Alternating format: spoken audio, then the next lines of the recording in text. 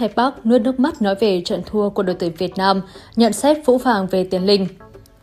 Cầu thủ Việt Nam đang thi đấu tốt trong hiệp 1 trước Trung Quốc khi cầm bóng vượt trội với 65%. Không chỉ cầm bóng và thực hiện nhiều đường chuyền hơn mà Việt Nam còn có cơ hội mở tỷ số trước. Trung Quốc cũng có những cơ hội ghi bàn trong hiệp 1, nhưng nếu tính về độ phối hợp và các miếng ở trên sân thì Việt Nam tốt hơn, với độ chính xác chuyền bóng là 85% với 76% của Trung Quốc. Tuy nhiên, sang hiệp 2, khi Việt Nam chủ động cho ép sân, thì Trung Quốc lại bất ngờ mở tỷ số. Phút 56, Lưu Giang đã tập bóng từ cánh trái để cho cầu thủ vào vào sân thành người là Wang Qiming vô lề ghi bàn cho Trung Quốc. Sau bàn thua, Việt Nam nỗ lực tìm kiếm bàn gỡ, nhưng khó khăn lại ập đến phút 85. Tiến Linh thay đỏ sau khi trọng tài tham khảo và và xác định tiền đạo của Bình Dương phạm lỗi thô bạo. Tận dụng ưu thế với hơn người, Guli của Trung Quốc kịp thời ghi thêm một bàn vào phút bù giờ cuối cùng, ấn định tỷ số 2-0. Sau trận, thầy Park cũng đã có những nhận định. Đội tuyển Việt Nam đã có một trận đấu tốt khi mà kiểm soát toàn bộ thế trận với ý đồ của ông Truse.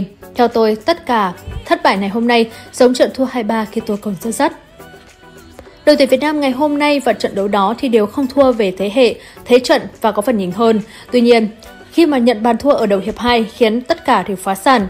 Ở trận đấu này, ông Truse sử dụng toàn cầu thủ trẻ, cho nên cũng không bất ngờ khi có một số tình huống xảy ra phạm lỗi. Nhận xét chi tiết hơn, thầy Park thừa nhận lối chơi kiểm soát của đội tuyển Việt Nam còn có những hạn chế. Hai bàn thua của đội tuyển Việt Nam ngày hôm nay thì đều nằm ở lỗi cá nhân. Bàn thua đầu tiên thì việc không có bọc lót khiến cho việc cầu thủ đối phương thoải mái dứt điểm. Cuối cùng, ông thầy Park cũng đã gửi đôi lời tới Tiến Linh. Tôi có xem qua tình huống của Tiến Linh, rất mong cậu ấy rút ra nhiều bài học và các đồng đội cũng như vậy. Bóng đá bây giờ có và các tình huống như thế nên hạn chế. Pha vào bóng đó là không cần thiết một chút nào, nhất là trong hoàn cảnh đội chúng ta cũng đang cần tìm kiếm bàn gỡ. Phút 76, trận đấu giữa Trung Quốc và Việt Nam đang diễn ra trong khuôn khổ giao hữu FIFA. Khi tỷ số đang là 1-0, tiền đạo Tiến Linh được tung vào sân. Đây là lần đầu tiên Tiến Linh thi đấu giữa thời ông Truse. Nhà cầm quân người Pháp hy vọng cái duyên sẽ đến trong hai lần gặp Trung Quốc trước đó của Tiến Linh giúp Việt Nam gỡ hòa. Tuy nhiên, dấu ấn của Tiến Linh mang lại thì không phải là bàn thắng và tấm thẻ đỏ. Ở phút 86, anh đã có một pha tình huống không đẹp với hậu vệ Thiat Browning. Lúc bấy giờ, hậu vệ của Trung Quốc thì cũng đang thu hồi bóng về vòng cấm địa của đội nhà.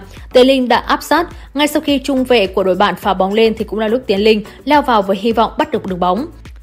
Ban đầu, trọng tài rút thẻ vàng với cả đôi bên, tuy nhiên sau đó ông quyết định kiểm tra và và rút thẻ đỏ trực tiếp với Tiến Linh.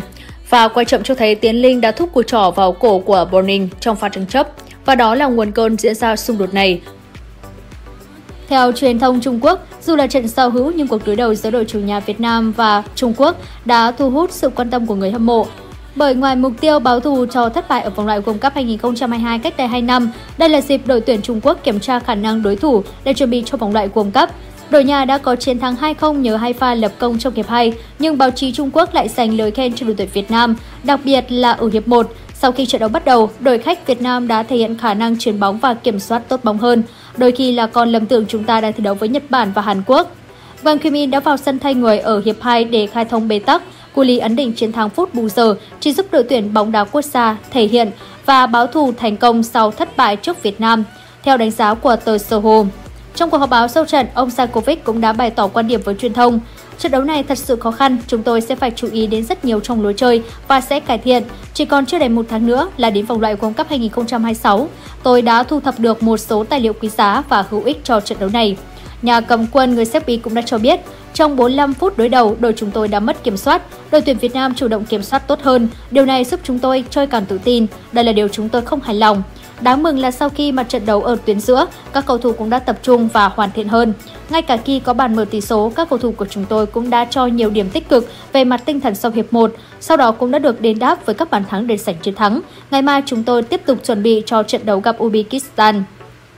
Theo truyền thông Trung Quốc, dù phải thi đấu ở trên sân Trung tâm Thể thao Đại Liên, nhưng đội Việt Nam lại liên tục có nhiều thời điểm tạo ra một thế trận lấn lướt trước đội bóng của vị huấn luyện viên Jankovic. Đội bóng chủ nhà chủ yếu dựa vào phần phản công và dàn xếp đối phó. Trong những phút đầu tiên, tỷ lệ cầm bóng của Việt Nam đạt 65%. Sohu cho biết, sang hiệp 2, đội tuyển Việt Nam vẫn tạo thế trận nhìn hơn nhưng lại bị thủng lưới nên buộc phải đẩy cao đội hình. Điều này cũng giúp đội tuyển Trung Quốc có thêm không gian để có thể phản công trước Culi khi ghi bàn thắng thứ hai. Với chiến thắng chưa đầy thật sự thuyết phục, thì đội tuyển Trung Quốc hy vọng huấn luyện viên Jankovic sẽ có phương án thay thế trong cải thiện lối chơi của đội mình. Năm 2023 đánh dấu cột mốc chuyển giao của đội tuyển Việt Nam khi ông Kruse tiếp quản ghế vị huấn luyện viên trưởng từ người tiền nhiệm Park Hang-seo.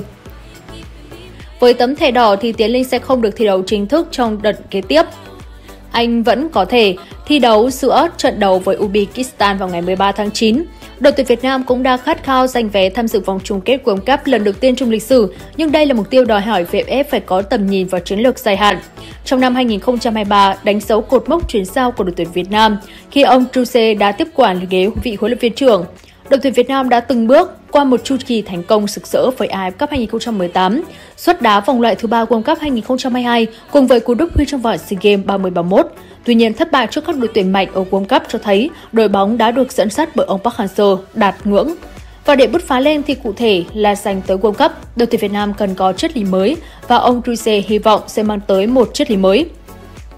Ở vòng loại World Cup 2022, đội tuyển đá 10 trận và thua tới 8 trận. Hãy thực tế về hiện thực bóng đá Việt Nam, đó là lý do chúng tôi làm việc chăm chỉ mỗi ngày để rút ra khoảng cánh ngắn về trình độ với các nền bóng đá hàng đầu châu lục. Chúng tôi không chỉ nói xuông hay mơ ước mà đang nỗ lực để khi mà bắt đầu trận đấu, đội tuyển Việt Nam cũng có thể đối diện với mọi khó khăn.